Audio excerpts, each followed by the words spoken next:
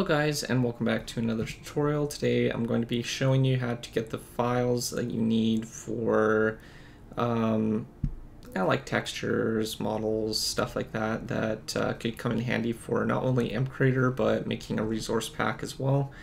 Um, now you're going to need to have a archive opening program such as WinRAR or 7-zip. I'm personally using 7-zip for this purpose. Um, because, well, I got tired of um, using WinRAR because it kept popping up, uh, oh, buy now, and then I go and buy it, and they're like, oh, we're just going to bundle, give you a disk with bundled software on it. I'm like, thanks, totally. And it still didn't work. So I'm just like, nope, not going to be supporting your cause, that's for sure.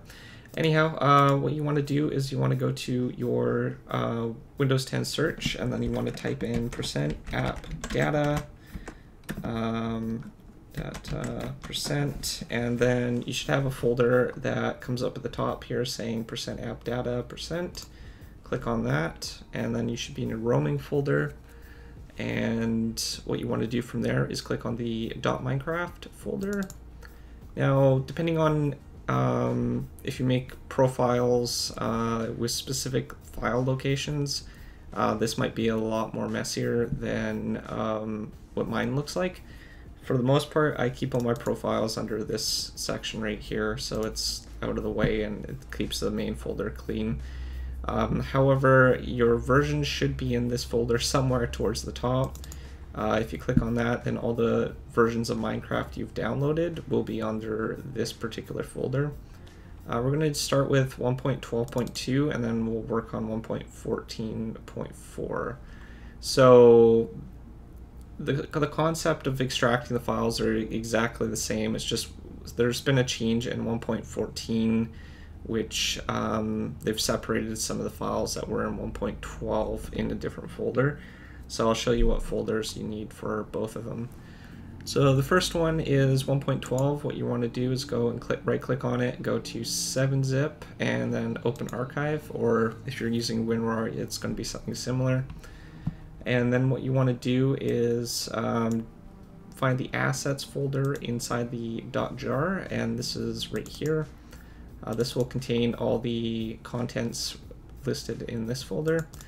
Um, what you want to do is just drag the assets folder into a folder probably best for the same version of um, jar that you're extracting it from. So I'm just going to drag it into 1.12.2 that's on my desktop here and it'll take some time depending on your speed of your computer. But uh, if you open this up and go to Minecraft and then um, textures, and then you have all your block textures here. Um, I believe armor is under models and then armor and then all your armor textures. Um, items are under the items folder. And it's not just that folder. I mean, there's other uh, usable things as well as like models and stuff too. So some things like uh, generic block can be found here. So this is the JSON format for the display. So you can actually use this code right here for the display properties. I've done a few tutorials on that.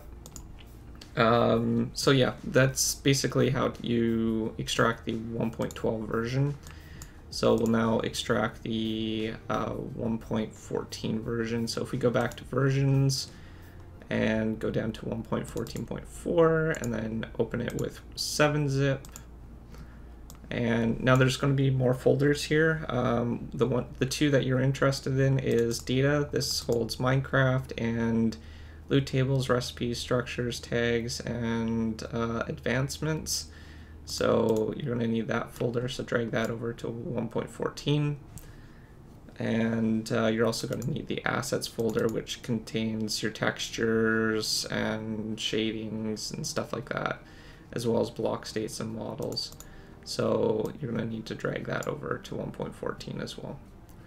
Um, outside of that, uh, that's uh, breakdown of how to extract the files you need for not only making things in MCreator, but um, things like um, resource packs and stuff like that. All those sort of the files that you'll need to get started working on your own resource pack or even making your own mods in mcreator.